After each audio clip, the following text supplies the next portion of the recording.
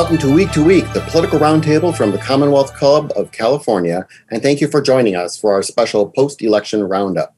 I'm John Zipperer, your host for Week to Week, and the Commonwealth Club's Vice President of Media and Editorial. We hope you are staying safe and well wherever you are, and we look forward to seeing you in person someday in the future at the Commonwealth Club's headquarters in San Francisco.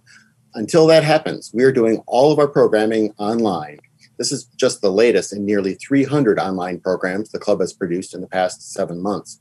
You can find all of our upcoming programs, as well as audio and video from our past events, and how you can support the programming that we do at commonwealthclub.org. Now, if you're watching us live on YouTube, use the chat function there to post questions for our panel, and we'll try to work some of them into our conversation today.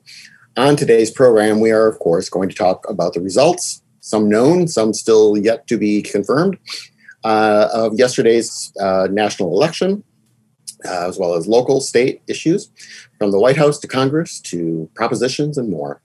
It has been a white knuckle, stressful night for people on both sides of the political divide. I think a lot of us wanted a really quick and definitive calling of the presidential election, but instead it actually went much more like a lot of analysts were telling us to expect close races, slow counting of mail in ballots. Dan Rather said, quote, we awaken to a country in pain, deeply divided, and in search of its soul, unquote. But maybe Jimmy Kimmel spoke for most Americans when he said, this is like being awake during your own surgery. So let's get started and meet our panelists for today. Carson Bruno is joining us from Southern California, where he's Senior Director of Training and Programs for Coro Southern California. You can follow him on Twitter at Carson JF Bruno. Hello again, Carson. Hello. Marisa Lagos is a politics correspondent for KQED News and the co host of the Political Breakdown podcast. You can find her on Twitter at mlagos. Hello, Marisa. Hey, John. Good to see you. And Dan Schnur is a professor of political communications at, I have to take a breath before I list all of these, UC Berkeley's Institute of Governmental Studies, Pepperdine University's Graduate School of Public Policy, and the University of Southern California's Annenberg School of Communications. That's literally all of the political communication professorships in the state. So he's got them all wrapped up. He's also the founder of the USC LA Times statewide political poll and host of the Politics in the Time of Coronavirus podcast. You can follow him on Twitter at Dan Schnur. Hello again, Dan. Don, thanks for having me and thanks for wading through that introduction. I really appreciate it. Yeah, well, that used up most of our time today, so we're going to make this rest of this really quick. I will well, say, you know, Dan's going to put himself out of a job with that uh, podcast, though. So he'll, he'll have one less title, hopefully, in, in 2021, right? the way things are going, that coronavirus might last long enough to. Uh, okay, well let's let's get right into this. We do have a lot to cover, and let's start right at the top with the presidency. As of right now, the election is still uncalled. Uh, final counting continues in a number of battleground states. Marisa, I want to start with you. What do we know as of now, and about the count and the potential victor? Yeah, so um, Wisconsin in just the last hour was called for Biden. Um, the Trump campaign is asking for a recount, but I think uh, that was a call made obviously by independent analysts, analysts not the Biden campaign. Um, and I think that it looks that was the way things were trending. Um, I would say all eyes now are really on Michigan um, and Arizona and Nevada. If Biden pulls out those three states, he doesn't actually need Pennsylvania, which is obviously the subject of much later vote counts and a lot of um, you know concern over the potential for litigation. Um, so I will just note in that scenario, what actually would put Biden over the edge is Omaha, Nebraska, that one congressional district in Nebraska, um, which is kind of insane. Um, and also speaks to you know we saw trump actually go there in the final days of the campaign because they saw that math. And so um, i don't know it's interesting to me we've kind of come full circle. A year ago we were all saying wisconsin would be the deciding factor and it it you know i mean you can say any of those are but it may well be that wisconsin is kind of that canary in the coal mine that um, if if biden can do those other states. Dan which are which states and which trends are you watching right now on the presidential race Dan, you're on you're on mute. Sorry about that. Well, John, like you, I am a proud cheesehead, and so I too watch the state of Wisconsin. And I'll note uh, two things. Um, both the Wisconsin Badgers football game this Saturday has been canceled because of the virus, and it now appears that the Packers Niners game for tomorrow night might be in some danger also. Wow. Um, but switching back to switching back to politics for a moment, Marisa is exactly right. But I'll add just one twist on this. Uh, Wisconsin state law actually um, uh, requires a recount, if I'm not mistaken, if the margin is close enough, and uh, and and if the margin is not quite as close as all that, if it's less than one percent margin, the defeated candidate has the legal right to call for a recount. So even though the race has been called by neutral observers, not by the Biden campaign, uh, the Trump campaign does have it within the right to challenge a recount. And what makes that a little bit more frustrating is the state of Wisconsin needs to certify its votes, which would take until December 1st before that recount can take place. Um, what I will say is there have been two recounts in recent years in the state of Wisconsin in statewide races. One showed a movement of 131 votes, the other showed a movement of about 300 votes. Uh, Biden maintains a very small lead, less than 1%, but it's about 20,000 votes. So that's not to say that the outcome could not be overturned, but it is there, but there's not historical precedent for it in that state. Um, but if the Trump campaign does decide to pursue the recount, then we will either be waiting until December or Biden will need to turn either Pennsylvania or Georgia in his favor in order to win uh, 270 electoral votes without the state of Wisconsin. Carson, what about you? What's standing out for you right now at the current status of the presidential race? Yeah, I mean, I think uh, as both Dan and Mar- uh, uh, Marisa, Mar- Marisa, Marisa, correct me, Marisa, Marisa, Marisa thank you. Um, I, I, mentioned, you know, it, it, does hinge a lot on kind of this the the blue wall, the the Rust Belt uh, blue wall, Wisconsin, Michigan, Pennsylvania. Um, just note that you know in 2016 Trump uh, carried Wisconsin by a little over 20,000 votes, and so we're seeing kind of the the reverse here with Biden carrying it by that that that kind of similar um, vote margin. Um, and so, is it likely to change in a recount situation if the Trump campaign decides to, to, to do so? Probably not. So that's good news for the Biden campaign. Um, but what, what, when I'm kind of looking at the map, what what really stuck out to me is the importance of trying to expand the map as much as you possibly can. And the Biden campaign was able to do so in places like Arizona, the Southwest, where that um, Arizona's uh, electoral college votes is giving him the, the buffer, the pathway that he needs that uh, doesn't require Pennsylvania, which is trending what positively for Biden, but maybe it might not be enough. Uh, the outstanding votes in Philadelphia area, in in Allegheny County, and other Democratic strongholds in Pennsylvania might not be enough for uh, Biden to really pull that state off. He doesn't need it because he was able to expand the map. Um, things are also looking good for Biden in Georgia, where uh, the Atlanta uh, uh, metro and, and, suburbs are have been trending Democratic, and the, the, that really remains where the outstanding vote is. Is it enough again for Georgia to flip um, to, uh, to the to the Biden column? Um, maybe, maybe not. I, I, think I would much rather be on the Trump side uh, right now with the way things are going. But still, it speaks to this expanding of the map, so that if things went down like they did in Florida, if things uh, you know continue to trend like they are in Pennsylvania that's still a, okay situation for uh, for the Biden campaign and for a potential Biden presidency.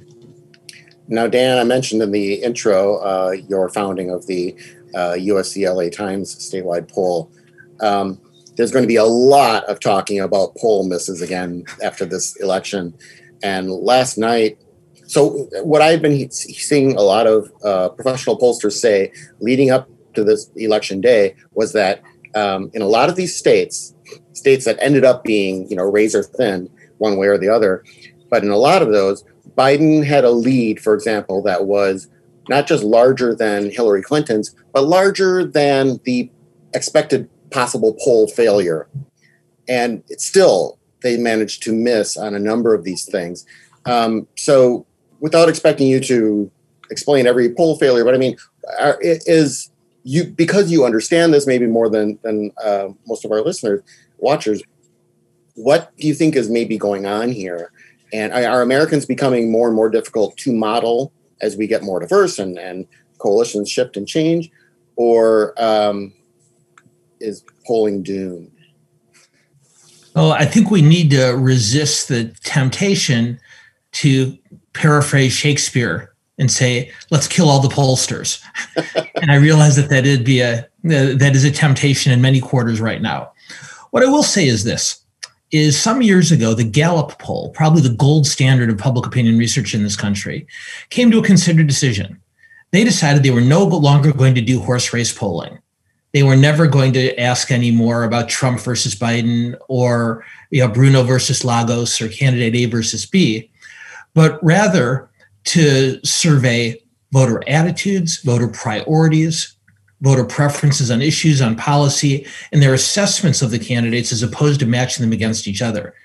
And the reason Gallup did that is because uh, public opinion polling is not designed to be predictive. The cliche, which I know everyone who participates in a program like this has heard many times, is a poll is designed to be a snapshot in time at the moment that I ask a voter how he or she intends to vote. The real value in polling and this is something, John, you and I have talked about with this audience before. The smart way to read a poll is not to try to predict an outcome that's months or weeks or even days away, but rather look at it as for insights on what the voters are thinking and why they're thinking what they're thinking. And because we as human beings and the media as media, no offense, Marisa, is just congenitally incapable of not extrapolating that into predictions, what Gallup decided to do is if our polls are going to be used as predictions no matter what we do, we're going to simply stop polling horse races. And I wonder if Gallup's decision isn't a smart one going forward. It's let's use public opinion research for what it's designed for to find out why voters are thinking what they are. Why are Cuban American voters and Nicaraguan American voters in Florida thinking certain things? Why are women in the suburbs of Phoenix thinking other things? And learn from that. And that way we'll no longer have to resist the temptation to say, oh, candidate A is 2.6 points ahead of his opponent, and he was 3.1 points ahead last week, and in, in, in, reading too much into that. I know that sounds like a very long and strident rationalization, but I no longer run the Times SC poll, so I'm off anyway. Okay, Marisa, of the, when you were following things last night and, and overnight and this morning, what surprised you about any results? I mean, when you you just look at the general map, things are kind of falling in the way they you kind of generally would expect them to do: red state, blue state. But like uh, uh, uh, Dan just mentioned, you know, people were kind of looking at at the breakdown of Hispanic vote in Florida and and, and African American men and such like that. When you were following this, what stands out to you as as a surprise? I don't know if I'd call it a surprise because the polls were right in this, but um, I do think you know Democrats today are kind of being Democrats, right? Like they might win the White House, but they're licking their wounds because it wasn't a landslide. And I do think, and Carson kind of alluded to this, that we have to look at the broader trends here. I mean, Arizona flipping to blue. This is only the second time since Truman that Democrats won that state, um, assuming they hold it, which you know it's been called. It looks relatively likely. Um, Mark Kelly flipped uh, Martha McSally's seat there, John McCain's old seat. I mean, the Southwest has is changing, and I do think that even though both Texas and Florida ended up in the Republican column, there's some real um, there are warning signs there for the GOP. Maybe not as strong as some people had predicted coming into Tuesday, um, and I think we're still waiting to see kind of how some of the legislative races play out to give us a more kind of micro perspective on this. But you know nothing really surprises me. I think, I, guess, maybe the Senate. I mean, it's definitely the fact that Susan Collins just held on to Maine, um, narrowing the path for Democrats. I think is uh, is is not is is less in line.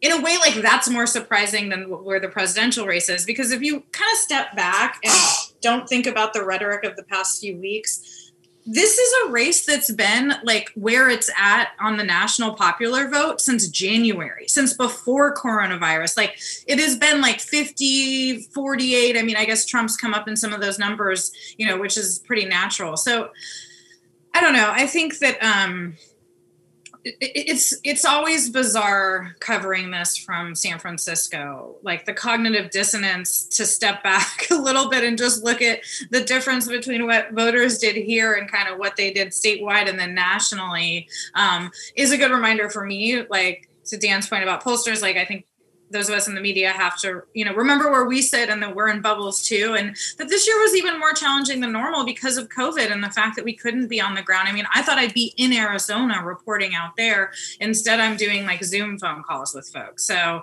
um, it, it's hard to gauge what's happening on the ground when you can't actually be on the ground. Yeah. Carson, yeah, I, I, and I kind of want to just piggyback on, onto that because you know when you look at how the two presidential campaigns at least operated the Trump campaign operated in a much more traditional sort of manner, um, boots on the ground, rallies, as if kind of uh, n- nothing was happening in regards to the pandemic. Whereas the Biden campaign went a much more kind of public health appropriate sort of route in doing more phone calls, more texting, more digital sort of outreach, less knocking on doors, fewer rallies when there were rallies. Um, there are more kind of car based rallies or kind of um, digital rallies that were occurring. And so, I, you know, I think when we when the dust settles after all of this, and when uh, you know the autopsy reports really start to take a look, there's obviously going to be a deep autopsy in Miami Dade County to really kind of figure out um, kind of what happened there, uh, particularly around the various demographics um, that really kind of close that that uh, that margin gap uh, for Biden relative to Clinton and some other Democrats, uh, Democratic candidates in the past. Um, but then also kind of this this kind of uniqueness of what has been a national election in the era of COVID. With all the complications around uh, early vote, mail-in voting, uh, counting, changing of rules, changing of laws, kind of quickly to kind of try to address with um, that, and then also how the campaigns reacted to just the the mechanics of the campaign itself. And I and I think that does filter down then also to the Senate races um, that were competitive as well. Can I say one thing, John? I, sure. I, I think it's important to note, like, you know, obviously we're gonna you know, give USC and all the public opinion pollers crap. But from what I understand from talking to folks in the Biden campaign, their internal polls were way off in states like Florida and, um, you know, even Texas, I think. So maybe not way off in Texas, but Florida, I think, really stands out. I mean, I think they their internal polls latest had them up by several percentage points there. So this is a bigger question, and it and it and I think it's going to speak to um, just the Democratic Party's ability. I mean, I think that there's been this sense that as the country gets more diverse and, and, and more black and brown, that it's sort of automatically a win for Democrats. And obviously, I mean, white men in particular are the biggest supporters of President Trump. But I think Democrats are going to be forced to not take some things for granted that I think they have been. And certainly, there's been this assumption, I think, on a lot of folks, a lot of uh, politicos at least, that when they're looking at the Hispanic vote, they're talking about some monolithic vote. And we're seeing it's very diverse. It's huge, of course, and very diverse. Well, I want to use this as a segue to get into congressional and Senate races uh, in the in the U.S. Congress. Someone in the audience uh, kind of gave us a good uh, question to start off with, and that is what happened with Sally uh, uh, Martha McSally in in uh, her race against, um, I believe, Mark Kelly. It looks like he's pulled off a victory there. Um, Anyone want to jump in with that? Uh, oh, go ahead. Oh. Um, yeah, I mean, just that, you know, I think Mark Kelly was a strong candidate. I think the Giffords have, um, you know, Gabby Giffords' name has a lot of sway there. I think he ran a smart campaign um, and that, you know, Arizona is changing and Democrats have done a lot of work there. I mean, I did a story just this week about how many Californians were kind of flooding the zone to try to flip it. Um, I think that's a place where they've been successful in looking at the changing demographics and really tapping in to those changes, especially in Maricopa County. I mean, let's not forget, you know, 10 years ago, Sheriff Arpaio was in charge there, and it was a very different reality. Um, and I think that there's some questions over what you know that era of Arizona politics did. I, you know, are, are we seeing I think it's too early to tell if uh, Senate Bill 1070, that check your papers thing, was sort of their version of Prop 187, which really was sort of the beginning of the end of Republican domination in California. But I think um, yeah, and, and you know, and I don't think McSally, quite frankly, was the strongest candidate. I mean, let's be clear: she lost to Kyrsten Sinema, who flipped that other Senate seat blue. She was appointed to John McCain's seat. Um, Cindy McCain supported Biden. I think that you know Arizona, and uh, there's there's a lot of independence there, and I think that even people who are partisan, you know, registered partisan. Um, you know they're, they're the home of the McCains. It's, there's there's that maverick streak, and I think you see that with uh, with that Senate race. John, if, I can offer just two thoughts. One to follow up on to follow up on Marisa's smart analysis on Arizona, but also to talk about the broader congressional outcomes. So think of it this way in Arizona Phoenix is the world's largest suburb. Um, yeah, they used to say years and years ago that Los Angeles was 20 small towns looking for a city. Phoenix is a hundred suburbs looking for an urban core. And as we've seen the suburban vote shift across the country from right to left, and for those of you with long enough memories, you can remember the term soccer moms being bandied around in the late 20th century. So this has been a trend long and long and coming. Um, Arizona's switch from, from from red to blue is a reflection of that broader uh, suburban shift.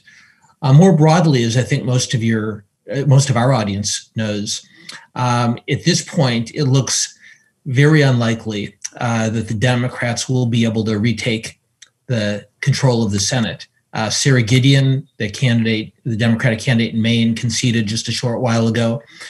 At this point, Democrats need to hope that David Perdue, the incumbent senator in Georgia, the incumbent Republican, does not attain 50% of the vote and therefore goes to a runoff against his opponent, Jon Ossoff. He's a little bit over 50%.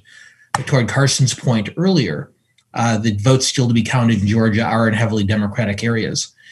And so if, if Ossoff is able to keep uh, Perdue under 50%, then Georgia will have not one but two runoff elections in the first week in January.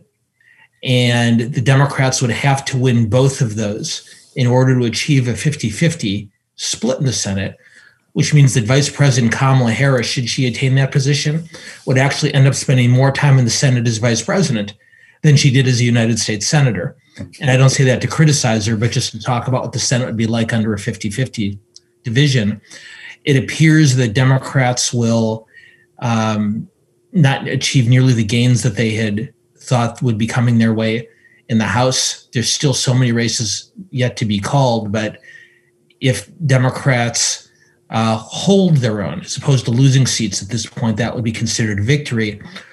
All of which means that if Joe Biden does become president, he will be the first president since George H.W. Bush in 1989 to come into office with a Congress controlled by the other party.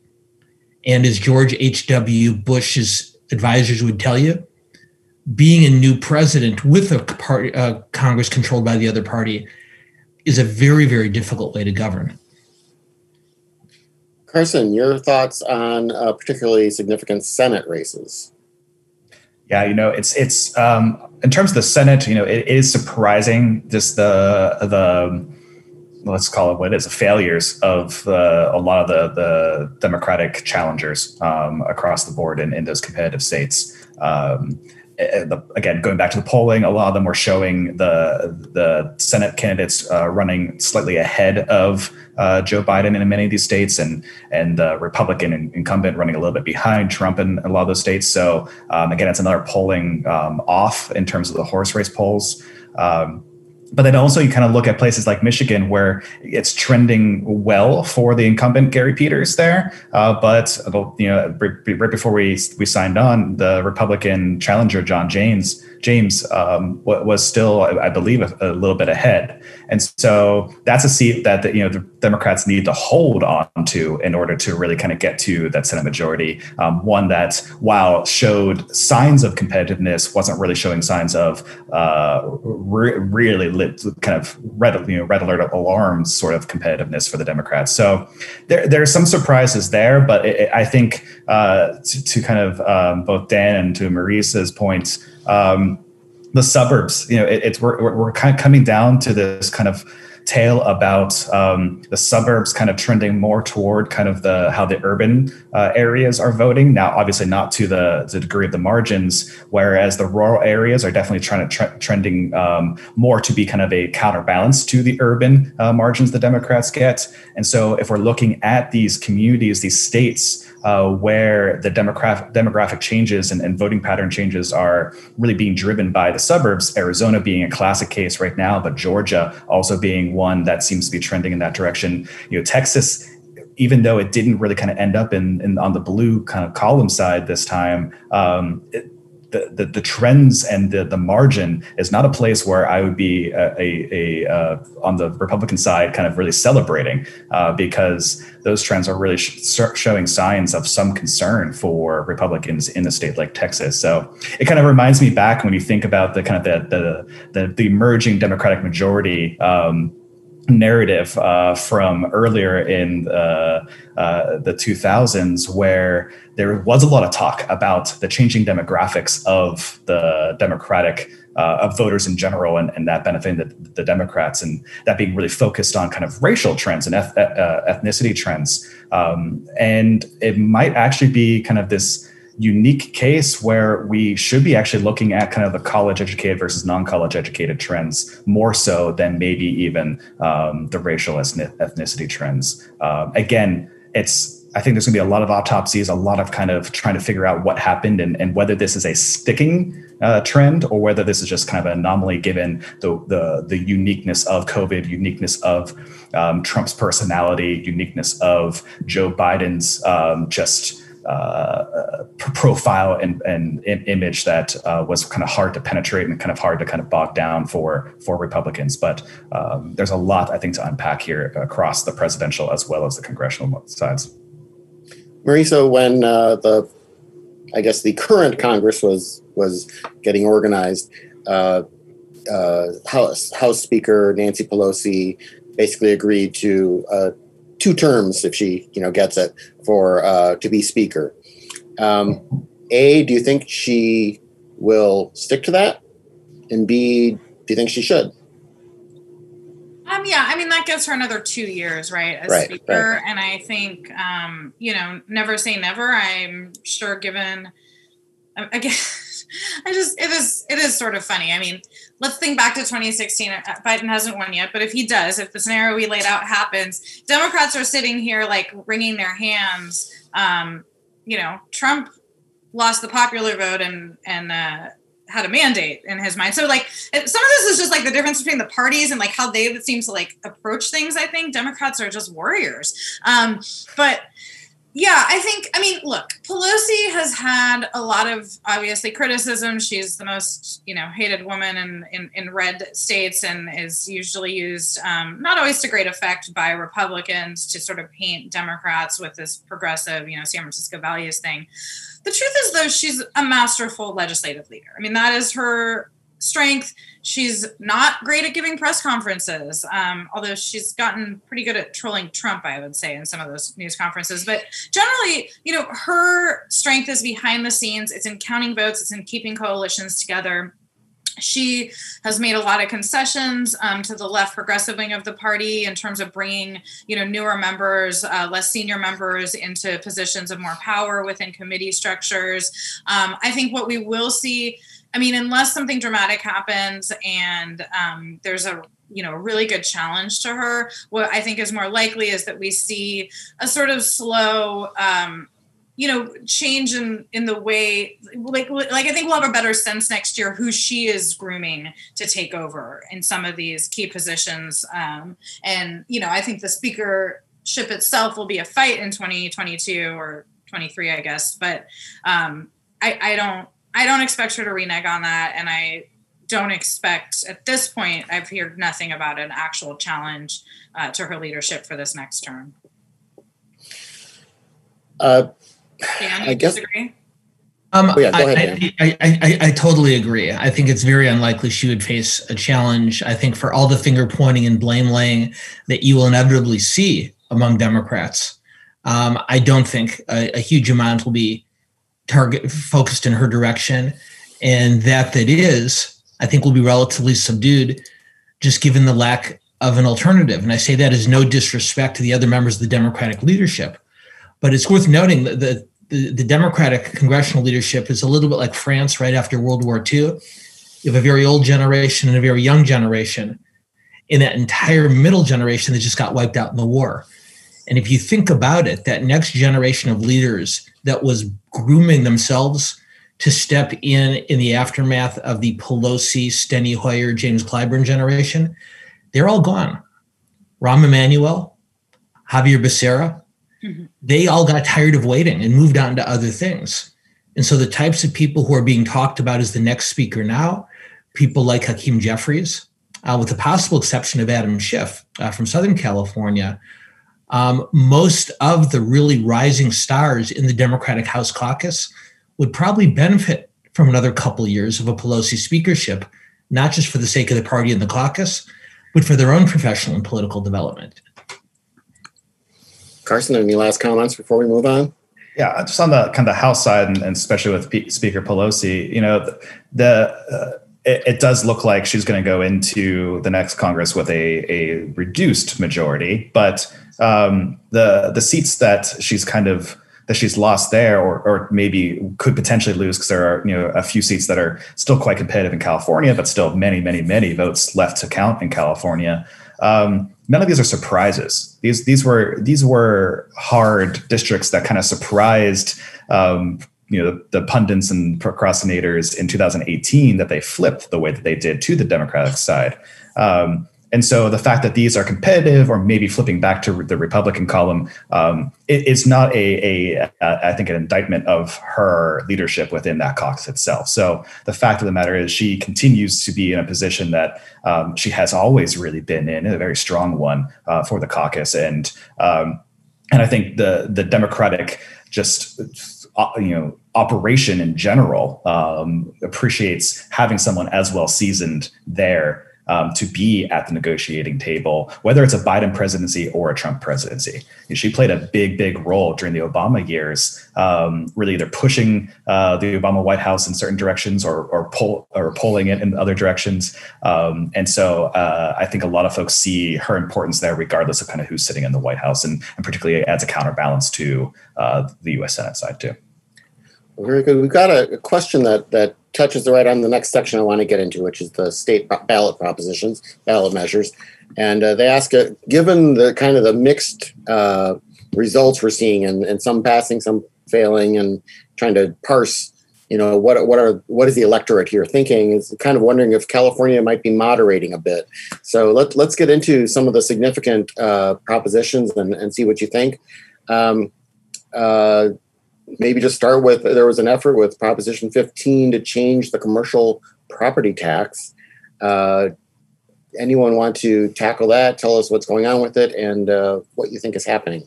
What are the voters saying? Well, definitely. Uh, I, will jump in here on this one because it definitely seems you know this is a amending and a um, in a quote unquote negative way the the prop 13 so it's not kind of expanding prop 13's um, rules or protections or you know systems. It's it's trying to pull you know pull things back from prop 13 and for the longest time prop 13 has been called the third rail of california politics and for a very good reason. Um, democrats have historically avoided trying to touch it or, or kind of go after it or criticize it. Uh, Republicans uh, up and down the ballot have been running as champions and protectors of it, and, and that's uh, you know in many ways helped to kind of head off some of the more anti-Republican headwinds um, in, in many places for uh, for the Republican Party here in California. And so the fact of the matter is, it started off Prop Prop 15 started off with a heavy, very steep hill ahead of it to climb, and they would need to really have made a, a, a strong campaign, really kind of counterbalancing the, the, the very pro Prop 13 nature of California in general. And when you look at expenditures, basically the yes no side were at a wash. 56 million, 50, 57 million as of the last um, uh, filing versus uh, for the, the, the support side, uh, 54 million for the, the, the no side, and so it doesn't seem like the Prop 15 campaign was really able to get that at, at that advantage, that upper edge, uh, to really kind of make their case um, in the reason why you needed to kind of roll back parts of Proposition 13, and we're seeing the state kind of um, fall in line with kind of the, the notion of Prop 13 just shouldn't be touched right now. Yeah, Dan, I'm I'm seeing Prop 15 currently losing uh, 51.7 no percent no vote. Um, does that surprise you for that for that uh, proposition? Well, it, it is worth noting that we'll be they'll be counting ballots for another 16 days, uh, so that one is is, is far from over. Um, I'd, I'd offer two thoughts, John. One, ballot initiatives don't pass in California. They just don't. At least they don't pass when there's money spent against them. Um, Proposition 8, you know, back a decade or so, ago, which uh, would have outlawed same sex marriage in California, passed although it was outspent. Uh, before that, I think you have to go back to 1988 to Proposition 103, the insurance initiative. And before that, probably to Prop 13 itself. So when there's a decent amount of money spent against an initiative, it just generally doesn't win. And it takes a disproportionate spending advantage, like we saw in Prop 22, the gig economy initiative, for anything to pass. Um, I, I, don't think California is moderating, John. I, I think that it's gone from purple to blue to indigo over the last couple of decades. And so I think we're still seeing a, a state that's moving significantly leftward. It's worth noting that the that Proposition 20, which would have reinstated some of the criminal justice penalties uh, um, on nonviolent uh, offenders, was defeated by an overwhelming margin. Um, and in fact, I'll take what I suspect is going to be a somewhat contrarian opinion on Proposition 16, which would have involved the restoration of affirmative action in California. My own opinion is that Prop 16 did not lose because it was too progressive. It lost because it was not progressive enough. Let me explain for just a minute. The number of young people who are applying to college every year in a state of 40 million people is a relatively small number. The number of individuals who are applying for government contracts in California is an even smaller number. If you think back to all those people who marched, who demonstrated, who protested last spring and summer on behalf of social and racial justice, I wonder if they might not have seen Prop 16 as pretty small potatoes. In other words, what they were demonstrating for was something much bigger and much broader and something more seminal. And I wonder if Prop 16 was just dismissed as an irrelevancy to many of those people who might have accept, uh, uh, supported a broader and more far reaching social justice or racial justice initiative. Marisa, weigh in on these props. I, like that reading, Dan. I don't know if I agree with it. I think I just think affirmative action is one of those things that has a lot of baggage attached to the actual like language and i think the yes side while they had more far more money in an actual campaign um i mean did you all hear their messaging? Like, I mean, I, I, gotta say, like, I feel like Prop 22 is really the only one I heard a lot about personally in my just like everyday life when it came to ads and mailers and things like that. Um, Dialysis. And I'm sorry. Dialysis. Dialysis. God, I don't even talk about that. Um, but you know, I think that I think Dan's right in one sense. I mean, I, my husband and I had a really interesting conversation about this after our, uh, you know, 13 year old niece said something to her dad about opposing this because um you know essentially just the like this idea that in her mind as a young person that like white people shouldn't get special treatment and that this would almost flip that. Like i just think a lot of people like this this brings up a lot of really interesting sort of deep seated concerns people have um, and i don't know that the pro side on that one did a good job of explaining what they saw as its connection to Black Lives Matter and this racial justice movement. And and I think for for you know voters who are around for Prop 209, um, that it, it, it, had a different kind of meaning um, than for folks maybe who were not voting at that time. I mean, broadly, I think Dan's right. Look, it's way easier to convince people to vote now money talks. If you look at, I mean, even Prop 15, I mean, we're all thinking about how this was supported by the Democratic establishment and all the labor unions, but business still outspent them 74 and a half million to 67.9 million. And obviously that's a decent match. But if you're starting from a place where Prop 13 is so closely guarded by the more reliable voters who are older homeowners, um, and where, you know, there's a lot of confusion over what this would actually do, which was, I think, successfully.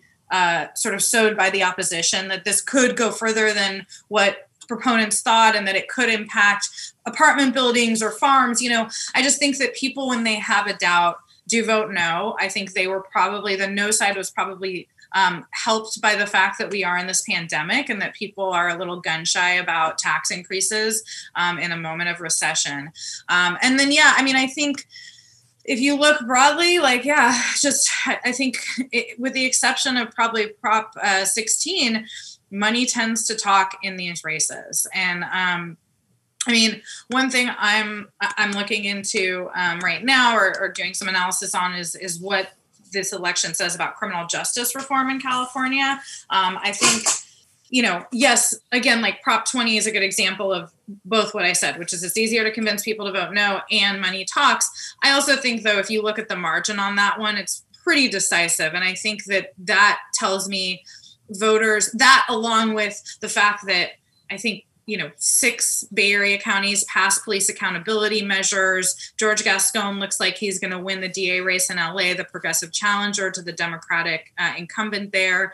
Um, I don't think we can look at this election and say California voters think that criminal justice reforms have gone too far. I think what we're seeing is that they're willing to go further in many cases than the legislature has been.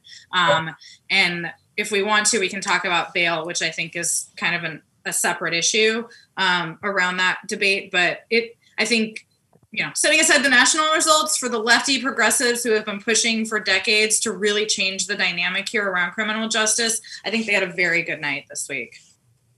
And uh, Dan, and then I want to talk Carson. There's some housing stuff on the on the props that I want yeah, to get into yeah. with you. But but first, Dan. Just one other thing on the initiatives, John, on all of them, or at least on most of them, we pay a state legislature to go to Sacramento several days a week, all year long, to work on these issues for us. And the fact that we're being asked in a yes or no way to decide how to help disadvantaged young people succeed in college and beyond the, the, idea that we're being asked to decide these critical, intricate questions about consumer online privacy, the fact that we're supposed to become experts on dialysis machines is just an unconscionable abdication of their responsibility. Um, I'm for the initiative process, as are most Californians. I think we reserve, need to reserve the right to step in when our legislature, our elected representatives can't or won't act. But look, legislation is a scalpel. A ballot initiative is a sledgehammer. And most many of these issues are way too intricate to hit with to hit with a hammer. Mm-hmm. And it really is unfortunate that our elected representatives in both parties were not more willing to take on some of the more challenging issues here, leaving them to very busy, very stressed, and toward Marisa's point, voters who are paying attention to a lot of other things.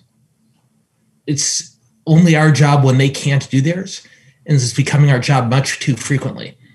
It, it might be interesting if there were a higher hurdle to get to clear in order to get something on the ballot. I mean, 12 ballot measures, like you said, that we're supposed to, and I said this in a previous week to week, where I am utterly unqualified to vote on dialysis centers. I, mm-hmm. you know, it's not that I, I'm unconcerned about the topic. It sounds very important.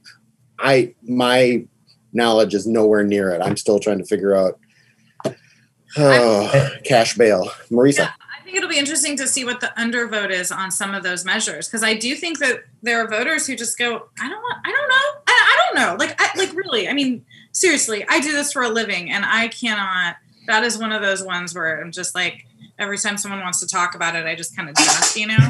Um, and I think the privacy one. I mean, I'm a little surprised that that is actually pulling. They're pulling that out because I I thought that the confusion might have uh, muddied the waters for that. But again, money, money, and you know, people like privacy.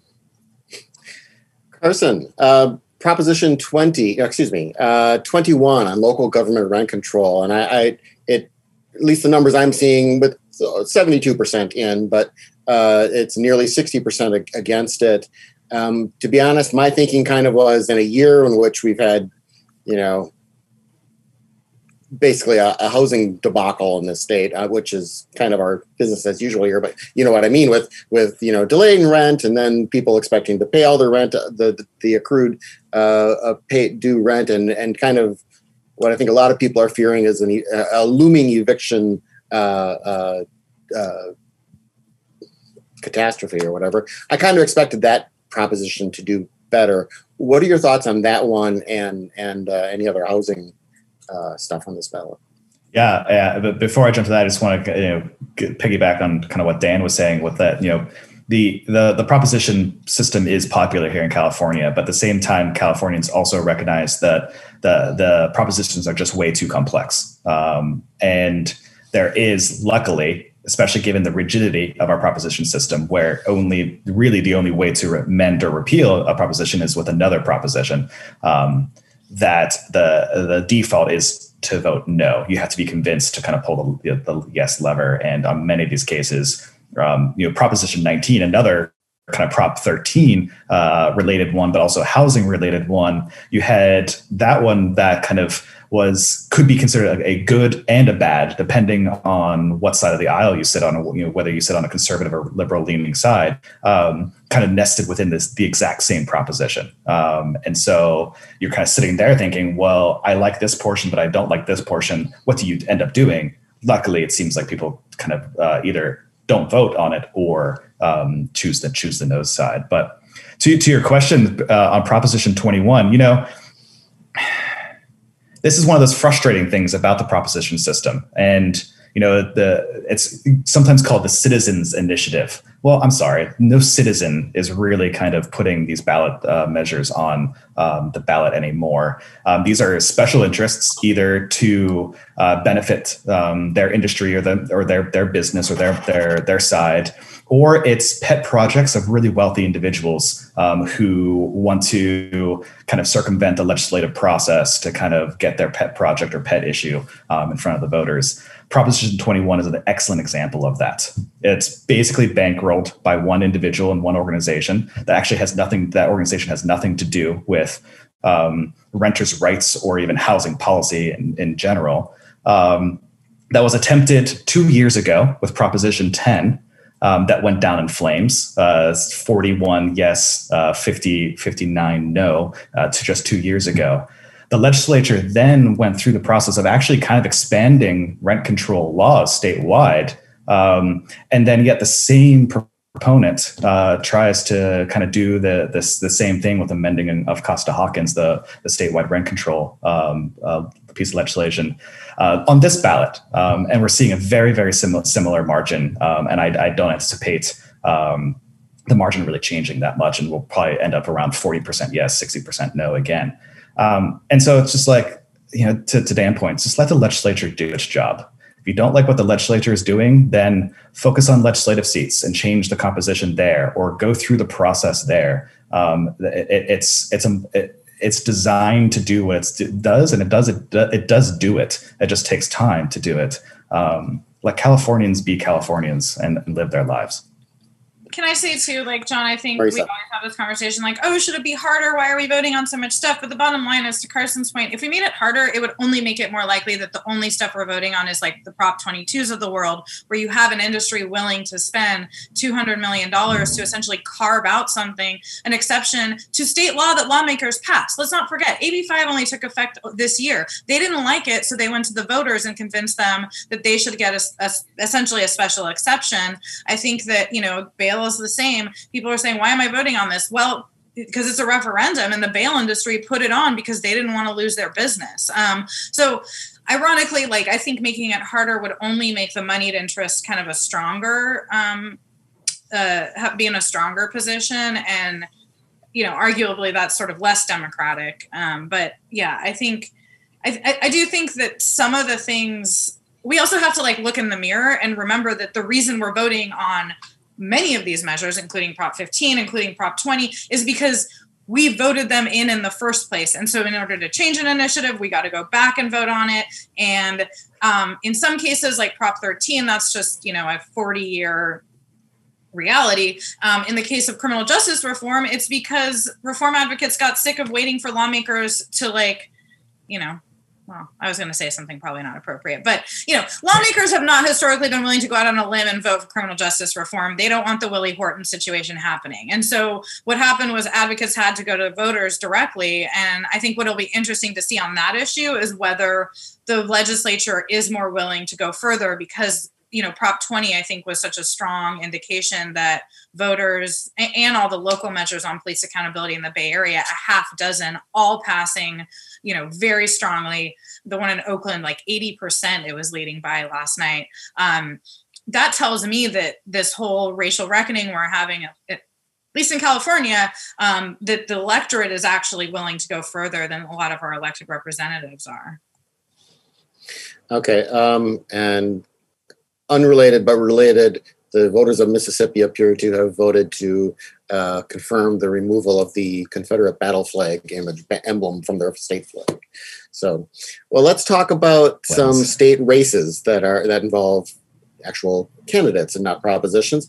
Um, and there were there were a couple uh, large city mayoral races. I think Sacramento. Am I correct? Uh, I might be wrong in that.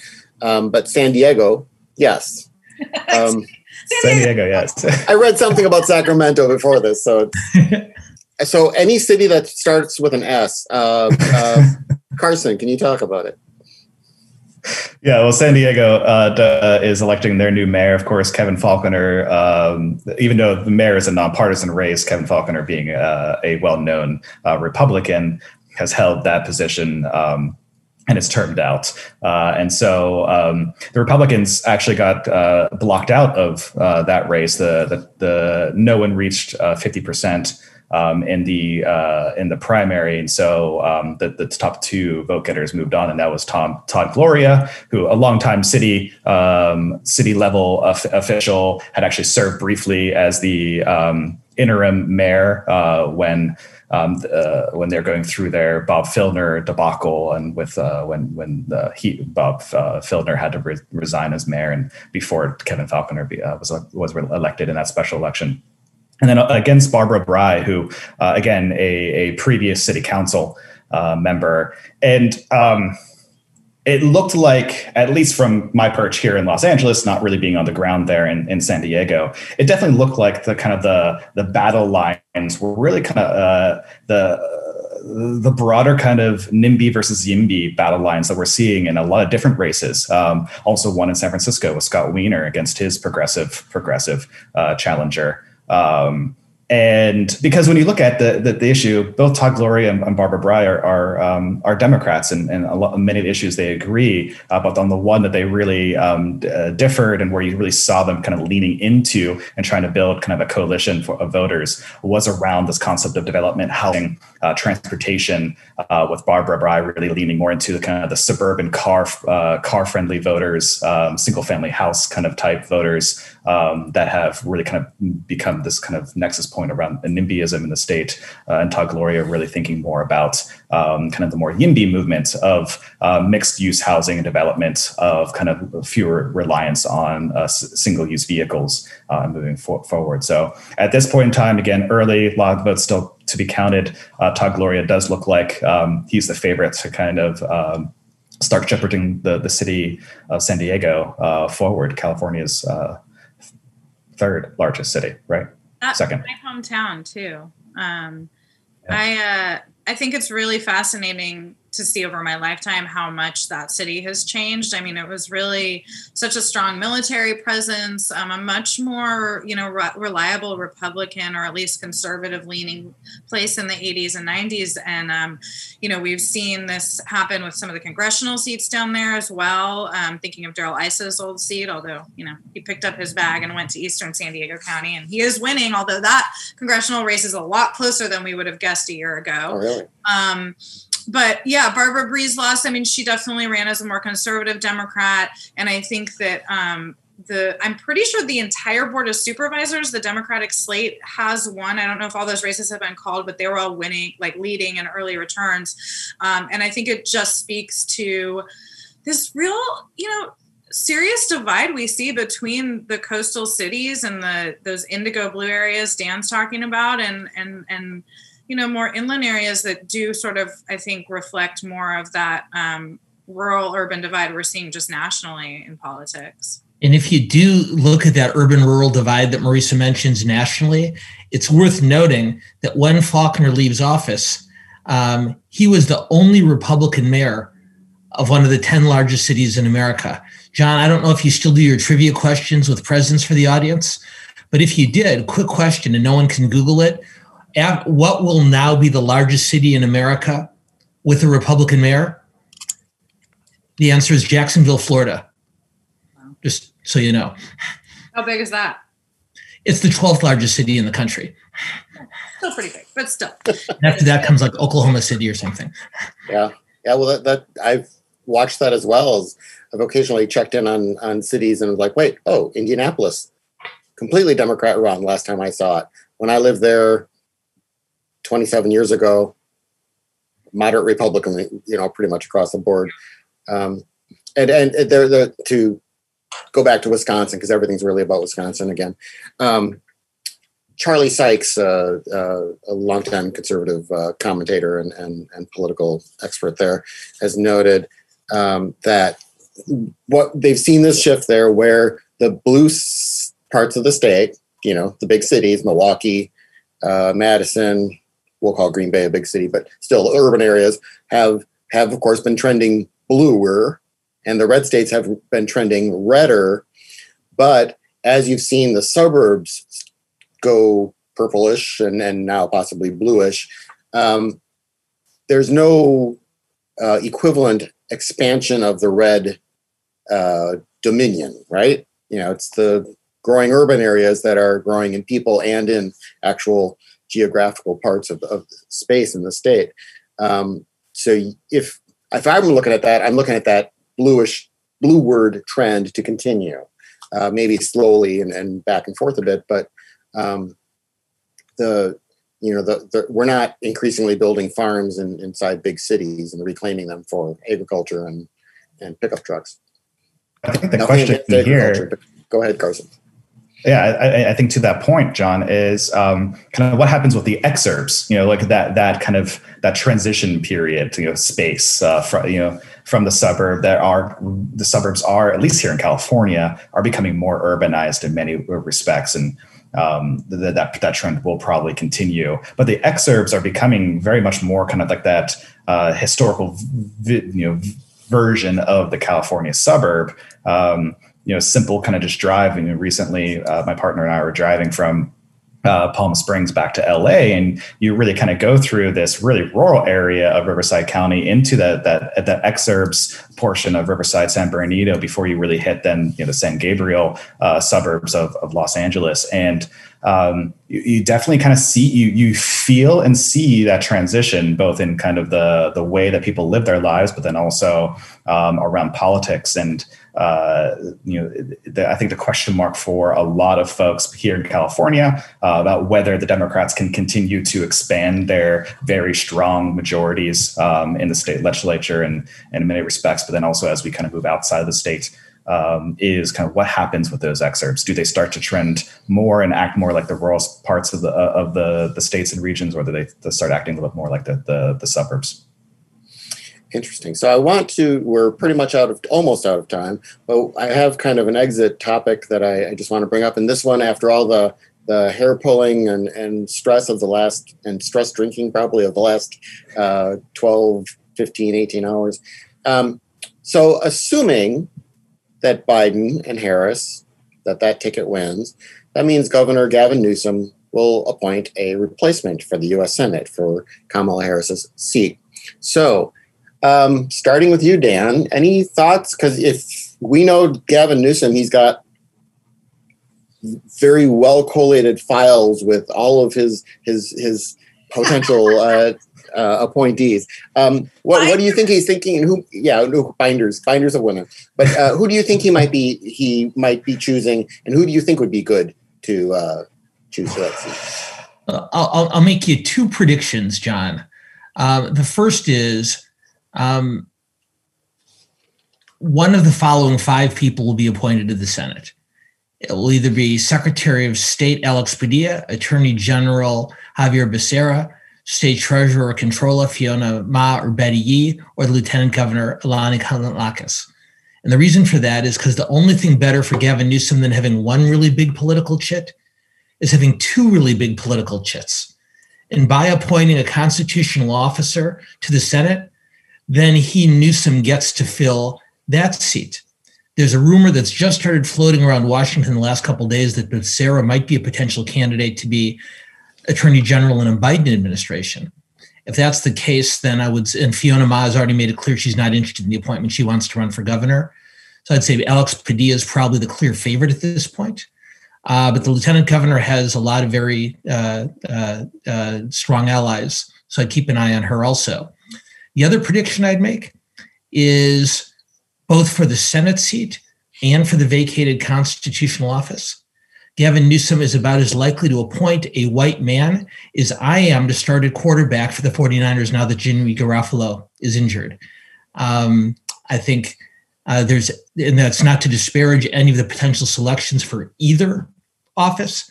There is a huge number of very qualified women, members of communities of color, members of the LGBTQ community. Um, but I cannot imagine a circumstance under which Newsom would pick a fellow straight white male. Bad news for Adam Schiff and for Eric Garcetti. Marisa, your thoughts on Gavin's pick? Um, Gavin, Mr. Governor Newsom, excuse me. Well, we can call him Gavin. We've known him for a long time. Um, you literally have. I have. and I have seen his binders. Believe me. Um, yeah, I, I, think those names are all in the running. I, I, would add Barbara Lee to that. I do think that there's going to be some pressure to pick a black woman. I mean, look, those the it, if it was a Dianne Feinstein seat, and we can talk about whether that could happen, which is entirely possible in the coming years, although maybe less so now that Democrats may not take the Senate and they don't have to have that judiciary fight. Um, but I think you know, given how few women are in the Senate, how few black people are in the Senate. I think that that is definitely a consideration. Um, and that, you know, all those people that Dan mentioned are folks that are, you know, pretty close to Gavin. Um, I, I, do think it's interesting with Becerra, um, just on a personal note. I'm not sure he wants to go back to DC. He moved his family out here. His wife's practicing medicine. His parents, I know, he's helping. You know, they're very close with. Um, but you know, you don't turn down the attorney general job, I'm sure. So, um, yeah, I think uh, uh, I think a woman is a better bet for this seat if if they indeed win. Okay, and Carson, what do you think about Gavin Newsom? I, am not sure if I have really too much more to add to this. Um, I would say that I, I wouldn't discount uh, any of the Latino options, just given the uh, growing uh, just importance generally of Latinos in the state of California overall as a, as a, as a demographic. So that definitely uh, it helps out uh, Secretary Padilla, who I've heard has um, been really thinking and looking at the U.S. Senate for quite some time. Um, it also potentially helps out someone like Long Beach Mayor uh, Robert uh, Garcia, um, who's also part of the LGBTQ community, um, kind of provides uh, some SoCal representation in the U.S. Senate, particularly if Feinstein is sticking around, uh, given her San Francisco uh, connection. So we'll see. I think the, I think the big, big, big question, um, and uh, you know, I, I, really like Dan's perspective of the constitutional officers because that does give him um, m- multiple ways to influence operations politically in the state. But I also think is you know, does he Would go with a, a placeholder appointment, um, or does he does he put some you know his his thumb uh, on the scales and, and appoint someone who definitely plans and, and has a, a strong advantage uh, when it comes uh, to the, the special election, which would come down just a few years later. And on that on that note, we will leave it. Thank you everyone for joining us. Uh, thank you for surviving this election. Uh, it's obviously going to continue to be a very closely watched topic for the next few days, weeks, hours. I'm sure we're all going to be glued to our, our respective uh, news sources. So, thank you to our great panel today Marisa Lagos, Dan Schnur, and Carson Bruno. Thanks to all of you for you, listening John. and watching online. Stay safe and stay healthy. Have a good week.